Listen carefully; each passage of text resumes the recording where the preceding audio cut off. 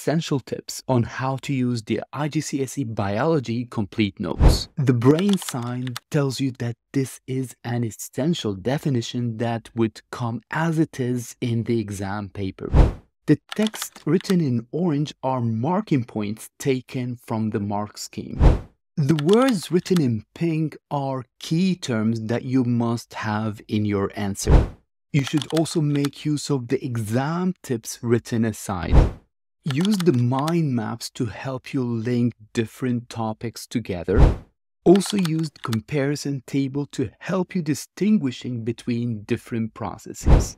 Diagrams are very helpful to learn things quickly because they stimulate your visual memory.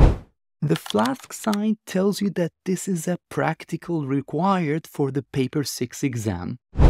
Scanning QR codes will show you videos related to those practicals. The E sign tells you that this section is for the extended syllabus and it's not going to come on your paper 6 exam.